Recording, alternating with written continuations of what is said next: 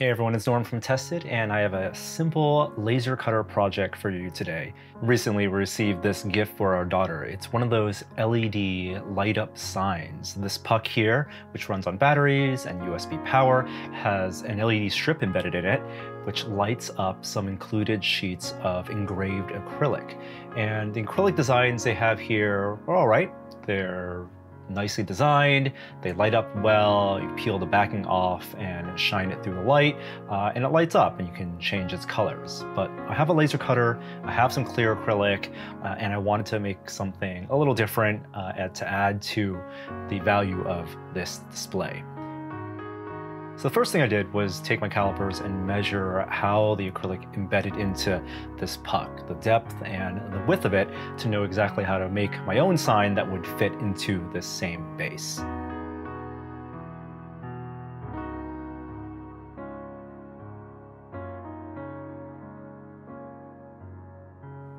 Next up was coming with the design. I wanted to go with an old patent drawing. So we're big fans of Lego, so I pulled up the Lego minifig patent design, which has that really iconic drawing of a minifig, picked the pose I liked and clipped it out. And we're gonna bring that into Adobe Illustrator.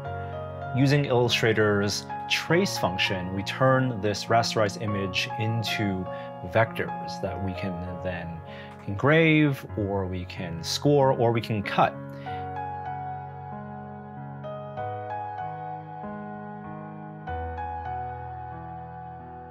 Now the idea is I'm going to cut this out of not just clear acrylic, but solid acrylic on top of the clear one. And you can see that it looks like one continuous design with this outline, but what I'm highlighting here are kind of like islands. If I cut this out, those pieces, those small little parts, are to fall through. They're not connected to anything. So I don't need them.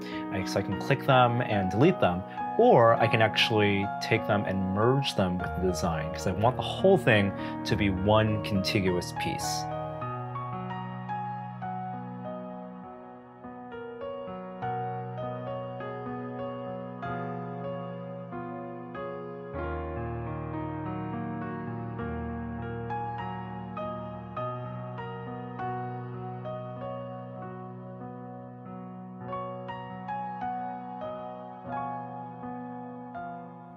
Okay, so we have our outline, and like I said before, this is not actually going to be the clear piece. The idea I have is to stack layers of acrylic. So I have an opaque piece, a clear piece, and then another opaque piece. And this, I think, is going to represent maybe the top layer, uh, which is going to match the bottom layer. So I'm going to need to duplicate it and cut out two of these. Uh, and if I was using acrylic that had a specific finish, I actually don't want this to be the exact same thing.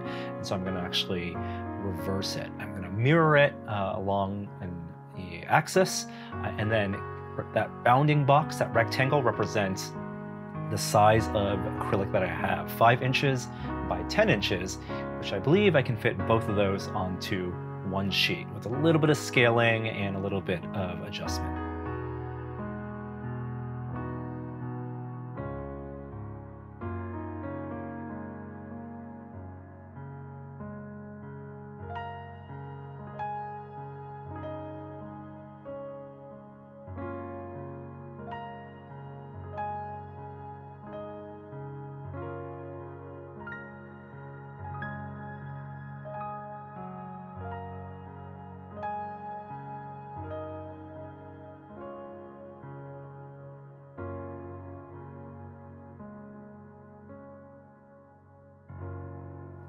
Course, now we throw this into the laser cutter, and there you go. You see my acrylic sheet, 5 inches by 10 inches, but I don't know exactly where it's going to cut on the laser cutter. And if I want to cut multiple pieces or do multiple passes, something we can do is take a scrap piece that fills the entire bed and create a jig. So this full sheet goes into the bed of the laser cutter and I will cut out a hole representing the 5 inch by 10 inch piece and then I can place any sheet of 5 inch by 10 inch acrylic onto into that hole perfectly nested uh, so that every time I use that design with this jig it'll line up perfectly and the design will stay within the boundaries of where I placed it in the software.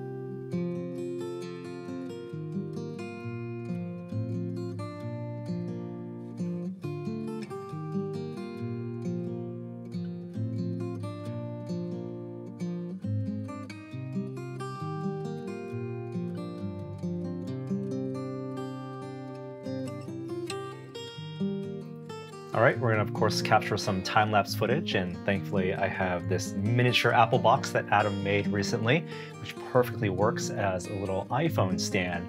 In switching the camera to time-lapse mode, I like the wide angle camera and turning on the Glowforge.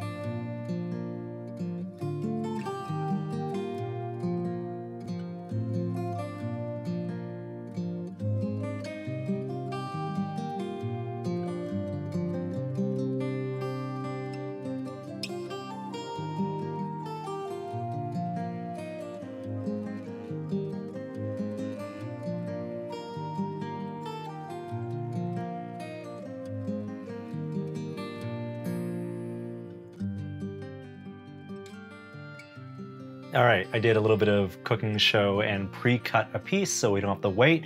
Uh, this is a blue sheet of acrylic. As you can see, it's a pretty intricately cut piece. It's supposed to represent that sketched patent drawing. So I have to pop all these tiny pieces out and then also uh, remove the masking, the protective layering, that's the scorch paper on top.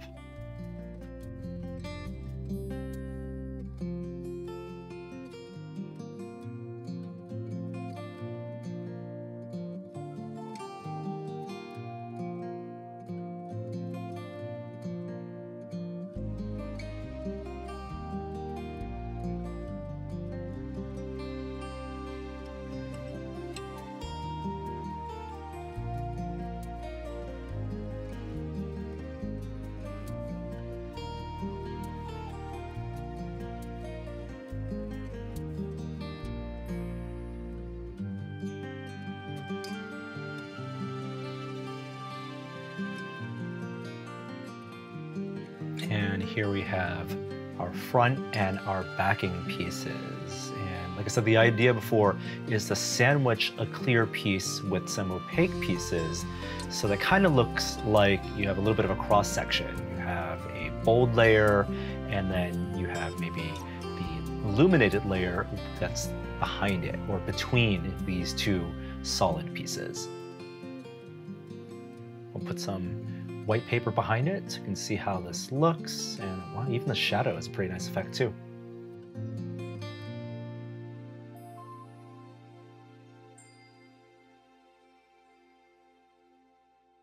Now it's time to design that middle layer. So I have my perfectly scaled piece here and I'm gonna draw a bounding box, have my measurements, of course, of how far this should stick inside that display.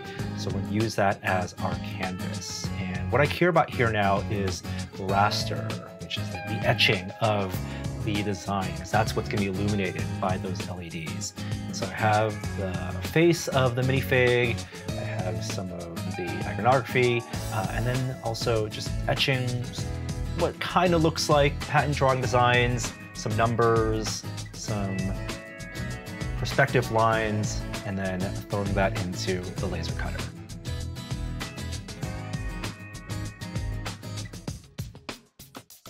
Okay, it's going through the etch right now, and some of you might be screaming at the screen because I definitely made a little bit of a mistake.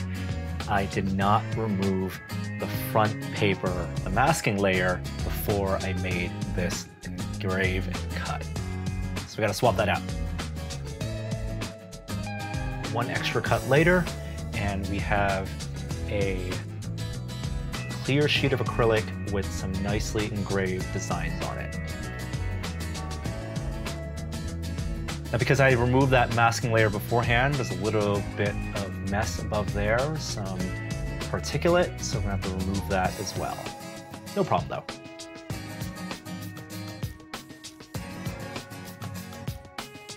Super simple to remove. You can use some isopropyl alcohol, spray it on top, and then using a rag carefully just kind of remove that it's not scuffing, it's just tiny pieces of that acrylic that normally wouldn't be there if you had the masking layer. But we wanted to remove the masking layer uh, so that didn't have to pick out all those tiny pieces of paper in that design.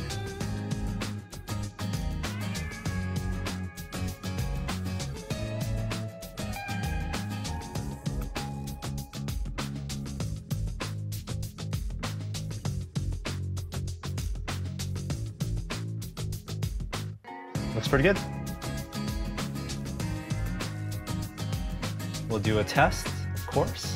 Place it into the puck and illuminate it, and that etching looks pretty good. I mean, it looks, I think, pretty nice already like this, but my idea is I do want to create some uh, layering effects, a little bit of depth. So I take my opaque pieces, align them, make sure everything is aligned perfectly.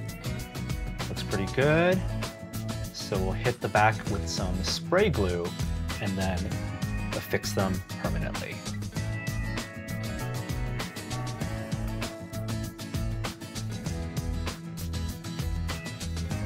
Very, very careful here to make sure the alignment is correct. Do the back and then the front.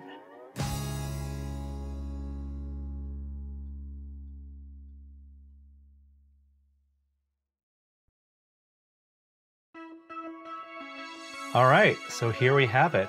A little bit of a remix of an acrylic display, illuminated acrylic display by adding some opaque layers and stenciling on both sides of it.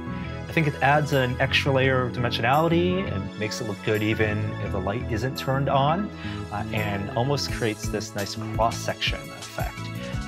Very easy to do if you have a laser cutter, if you have a vector program like Inkscape or Illustrator using their image trace functions, and you can do this with any raster image, create traces, uh, or just remix whatever art you have in your library.